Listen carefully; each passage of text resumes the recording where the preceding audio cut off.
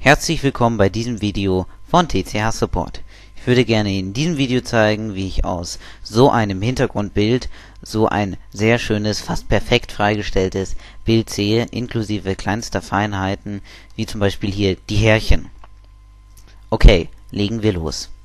Der erste Schritt ist natürlich, dass ich mein Bild was, mal, was, ich, was ich immer grundsätzlich vor jeder Bildbearbeitung empfehle, im Ordner, im lokalen kopieren. Dazu wechsle ich in den Bilderordner, drücke auf mein Bild, dann STRG C bzw. Apfel C und dann STRG V bzw. Apfel V.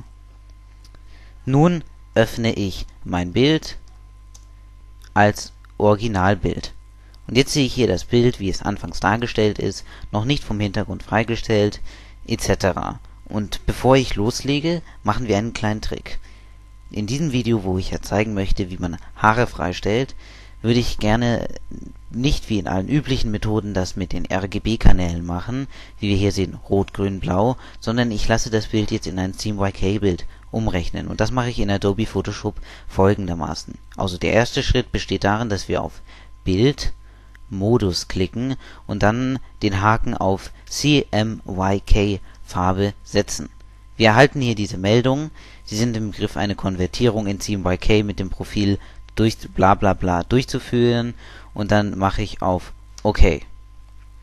Das Bild ist entweder etwas leicht verändert, aber meistens unverändert vor. Was aber verändert ist, sind die Kanäle.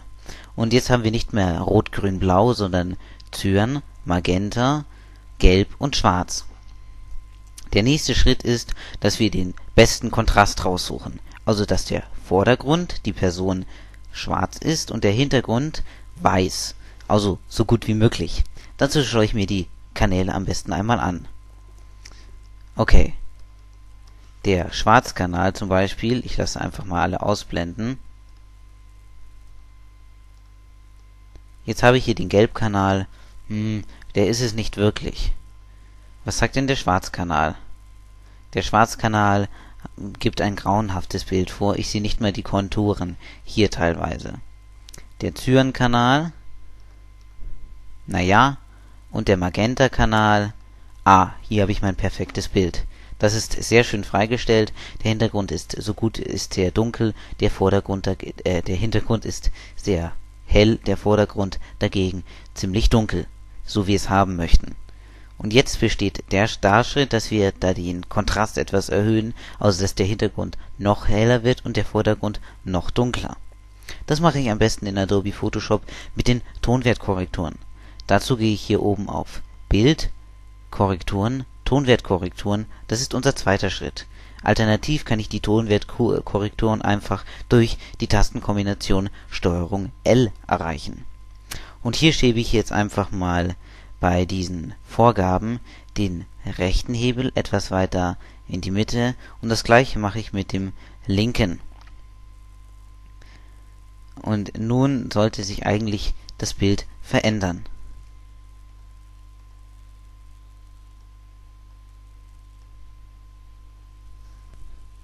Und jetzt sehen wir schon, es wird hier wesentlich dunkler. Ganz wichtig ist dabei, dass der richtige Kanal, in unserem Fall der Magenta-Kanal, aktiviert ist. Jetzt bin ich hier mit dem Ergebnis schon sehr zufrieden und lasse und drücke auf OK. Nun erfolgt der Schritt in unser dritter Schritt darin, dass ich den Vordergrund noch perfekt schwarz mache und den Hintergrund perfekt weiß. Dazu kann ich bei groberen Flächen einfach drüber malen, sprich ich nehme eine schwarze Farbe und male einfach bei den groben Flächen hier drüber über meine Person. Und bei feineren Flächen muss ich das dann mit Auswahlwerkzeugen machen, wie zum Beispiel dem Zauberstab. Wenn ich fertig bin mit meinen Auswahlen, außer dass der Vordergrund schwarz ist und der Hintergrund weiß, bin ich mit meinem Ergebnis schon zufrieden. Wir haben jetzt ja mit der Kopie gearbeitet und machen einen ganz simplen Trick für unseren letzten Schritt. Dazu gehe ich hier auf Auswahl, Farbbereich und möchte und wähle aufgenommene Farbe hier oben. Und jetzt nehme ich einfach nur diese Pipette und wähle den weißen Ton und schraube die Toleranz auf 0. Das heißt, nur die komplett weißen Töne werden aufgenommen. Nun kann ich auf mein anderes Bild und jetzt kann ich einfach hier mal wechseln und sehe, dass ich diese Auswahl nehme und einfach mal speichere.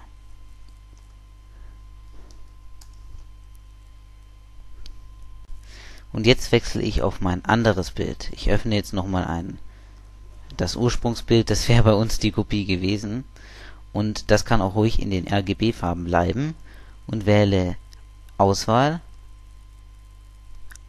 Auswahl laden, wähle bei dem Dokument das andere Dokument und möchte wähle Kanal DS. Und jetzt bin ich fertig und kann die Auswahl auf mein anderes Bild übertragen. Habe jetzt zum Beispiel hier meine duplizierte Ebene. Entferne jetzt einfach durch die Entferntaste meine Auswahl und schon bin ich fertig. Kleinere Korrekturen und schon bin ich fertig. Kleinere Korrekturen, wie zum Beispiel hier unten am Ärmel, kann ich ja noch mit dem Radiergummi durchführen oder mit dem oder mit speziellen Auswahlwerkzeugen wie zum Beispiel die, diesem Zauberstab. Also nochmal ganz einfach. Sie sehen übrigens, dass diese Auswahl sehr schön geworden ist. Schritt 1 ist, ich öffne mein Bild. Schritt 2, ich wandle es in ein CMYK-Bild um. Schritt 3, ich wähle den kontrastreichsten Kanal.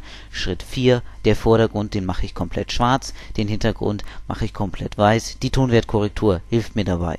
Schritt 5, ich gehe auf Auswahl, wähle die, den Farbbereich, wähle die weiße Auswahl, Toleranz 0 und drücke auf OK.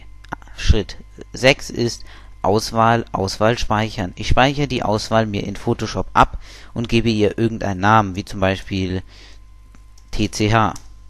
Schritt 5 ist, ich gehe auf mein Ursprungsbild, weil ich das Bild ja ko kopiert habe am Anfang, drücke auf Auswahl, Auswahl laden und wähle im Kanal, wähle das andere Dokument, wähle meine Auswahl, also bei uns TCH, wichtig ist, dass man das andere Dokument nimmt und drücke auf OK. Nun habe ich die Auswahl übertragen auf mein anderes Dokument und kann somit die Person, die ich vorhin mit den CMYK-Kanälen habe, auch im RGB-Modus sehr schön ausschneiden. Ich hoffe, euch hat dieses Video gefallen und freue mich auf die nächsten Videos von und mit TCH Support ähm, über Adobe Photoshop, Adobe Illustrator. Natürlich könnt ihr euch auch mal unsere anderen